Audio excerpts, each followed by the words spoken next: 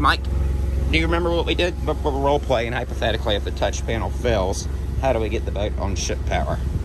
Uh, let me see. I, you got to go inside and uh, hit a breaker. I forget the name of the breaker. It's, it's a remote, yeah, remote battery switch. Remote battery switch. Next to your main and then once switch. you uh, switch the remote battery switch, you come down in the hole. Which where- Tony did for us, yeah.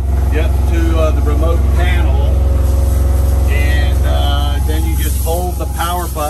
until It preheats until it, until it preheats. It'll tell you it's ready to go, and then it'll start. It'll start running on it, so it'll turn on. You got it. And then there's a clear hose that you can see that shows you that the generator is actually getting water and it's circulating, so you're good to go. Yeah, because you don't hear you don't hear the exhaust because the exhaust is underwater, but you can see water flowing through the clear hose. Okay, Captain Tony, Yeah. you want to get in your little hole? Yes. Yes. get in your little hole. Yeah, we're done with that. Thank you, Mike.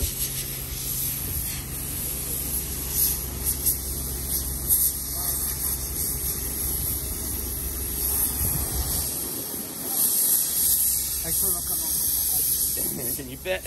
For a little French person. Um, okay. So now, if you, you can turn yourself around